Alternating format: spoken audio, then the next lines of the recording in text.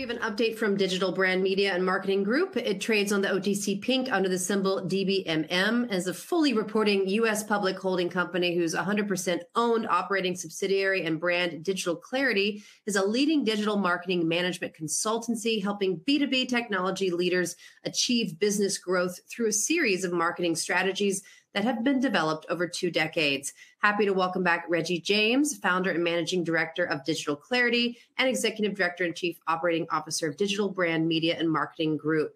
Welcome back, Reggie. How you been lately? Hello, Anna. Glad, I'm glad to be back. It's our third engage, uh, emerging growth conference, so looking forward to sharing some of the initiatives and everything that we did since the 9th of May. Great. And what areas will you be covering today in this update? So today, Anna, let me just bring up an agenda. There's a safe harbor. These are the areas we're going to be touching on uh, bit by bit, and then I'll do a Q&A at the end if we've got some time. Perfect. So yeah. So it seems like in the last presentation, you spoke to our audience about the OTC platform, and I think it would uh, be worth it to touch back on that again. No, absolutely, Anna. It's I think it's important to sort of reiterate some of the things that are going on within OTC. There's been some uh, some challenges within the market, and I think it's worth sharing. So, the OTC platform is very very short term. Number one, and DBMM is building an enterprise that represents a real competitive advantage, and it's sustainable and it's integrated, and we believe a sophisticated approach to get the best value offering for all the stakeholders out there. Firstly, the the actual platform does not behave like a, a, traditional exchange, like the New York Stock Exchange, for example. An exchange has something called specialists. So for each issuer whose role it is to maintain an orderly market, there's no such thing like that in the OTC. Maybe that's why it's um, sometimes called the Wild West, but the market market makers sort of act like a specialist, but boundaries are not as well defined, and often viewers, sometimes people view it as being manipulative. This can be challenging as people can have hidden agendas or treat the platform like an ATM and openly put out false statements, as we all know, and serve their own purposes on message boards and the like. But that said, there are also some big upsides as well. So there are, which I'm going to sort of touch on very uh, briefly. So someone put out on a board recently that uh, a shareholder um, that they had bought 4 million shares at 003 cents and sold them at 3 cents. So if you work that out, they spent $1,200 and sold for $120,000 a few years later. So while there could be large gains on the OTC market by holding as the company grows, the basis price is usually very low. So what DBMM is diligently working towards is growth, but growth that's sustainable. However, that doesn't follow the bashers plan of depressing the PPS, manipulating the wash and rinse repeat pattern that we've all seen before. So to do this, they need to shake the shares loose. And that's difficult when the outstanding shares that we've had have only increased by less than 10% since 2016. That's over eight years. So repeat, over eight years, they've been increased by less than 10%. And that was to settle the debt at the benefit of the company. So the company has continuously acted in the best interest of the shareholders as it executes its growth blueprint. So DBMM's approach will be will benefit shareholders as long as they stay strong, understand the amount of time it takes to build a sustainable growth model, and they listen to what the, and have faith in the company while all of this is taking place. So again, I say if you hold, the upside is great. OTC can provide some enormous gains, especially again as they buy and hold, and DC builds its cocoon and follows the blueprint. DBMM is a company now that has enormous room for growth. Another aspect of digital marketing by a management consultancy is complex and multidimensional. And it's worth sharing this with prospective shareholders and current shareholders. We've worked with a software company out of Atlanta for over three years. Our strategy and application have driven an enormous 90% uplift in the annual recurring revenue for that business. They have said openly that our involvement has been integral to their success. I know it's frustrating to some when we say that we can't always share things and we're under NDAs, but you have to understand that developing companies, as small as they are sometimes, are subject to being pirated. A management consultancy like us is hired to provide a competitive advantage with a hands-on approach by the principals that DC provides and the client continues to thrive. Well, Reggie, that certainly is quite some game, both in investor value and your software client. I can see the attraction and a win win on both sides. Thank you.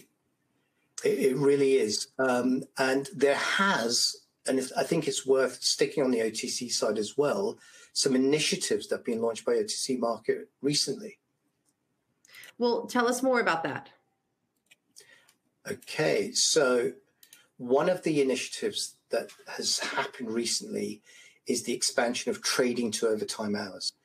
The company intends to expand its outreach to reach new geographies for investors who have an understanding and interest in the digital landscape and how marketing integrates clients' messages and expands its reach and impact. After hours trading can reach those markets in the US and beyond on their laptop while they're busy in the working day and, comment, and can reach new shareholders. They can execute without the pressures of the workday. This is a really exciting development, and initial indications are that it's expected to grow by 14.6% every single year. That's that's quite some growth, and it's going to hit a completely new demographic. So we're really excited about this. This approach reinforces the importance of shareholders doing their own due diligence as the company continues to stress. The future developments use all available channels to influence and increase ROI. Again, another aspect of a win-win situation. That sounds great. I have been hearing about, a lot about this as well, and everyone's super busy. And overtime hours for the OTC during a more quiet time is a big plus for companies, and I'm sure prospective shareholders. So you mentioned last time that awareness is a function of marketing dollars used in the right way. You also talked about what makes the operating brand of DBMM Digital Clarity differentiating. So tell us more about what has been happening. Absolutely, Anna. The development of DC's client advisory relationship is, to be honest, is laborious and incredibly time consuming to get right.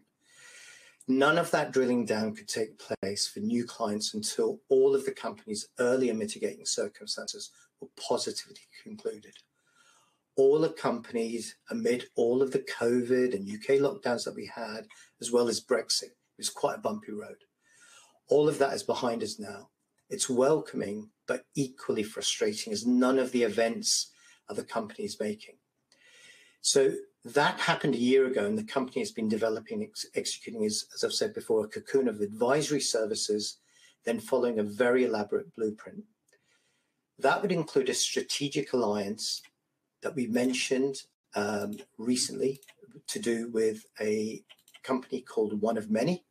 It's a company that engages in organizational change to optimize the client's offering at the front end, and DC comes in to add their ROI, uh, expertise at the back end.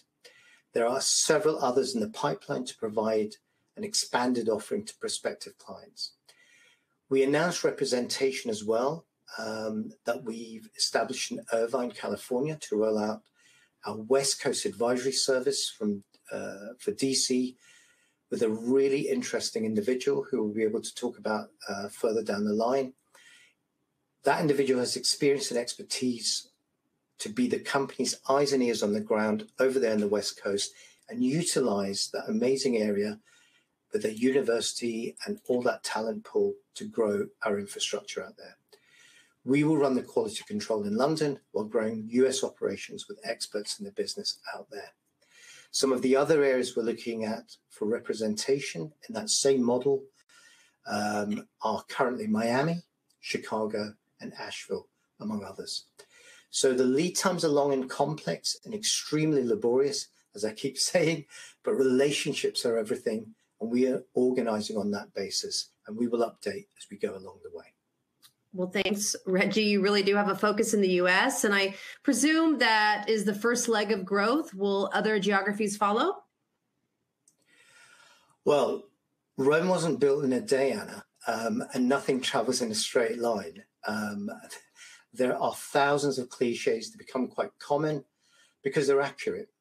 Measurement of results do occur, but in a public company, they take place every quarter with the Ks and the Qs. These results follow the blueprint that are natural progression, but after the cocoon that I mentioned is in place, or we simply will not be able to make it sustainable. There will be ups and downs along the way, but our marketplace is huge. As I mentioned previously, there is a there's a massive trillion dollar market that needs our help. There'll be ups and downs, as I've said, but we will execute our plan, learn from each step, and improve as we go along. That will provide the measurable results quarter by quarter reported in the finals. But even the biggest companies that we take for granted as household names have had times in the wilderness, and we're no different. Growth and acquisition will still continue, but the companies at stage where those initiatives are absorbed as part of doing business. Amazon went 14 years without making a bean, if I can use that British term. Even Apple has been in the doldrums periodically. These are huge organizations, and but that's the nature of business. The smaller ones often do not even survive. But DBMM has shown its resilience and is a survivor. I'll say it again, Anna. DBMM's approach will benefit shareholders as long as they stay strong with the understanding the amount of time sustainable growth takes and listen and have faith in the company while that's taking place. Wonderful. Well, Reggie, we do have to move on to our next presenter. We thank you so much for this update, and we definitely look forward to you coming back on next month. So thank you for your time today. Anna, thank you so much. There'll be some podcasts and various other things and other initiatives. And I look forward to sharing that with everyone in due course. Wonderful. We'll see you look again soon. Thank you. Thank you, Anna. All the best. Bye bye. Bye.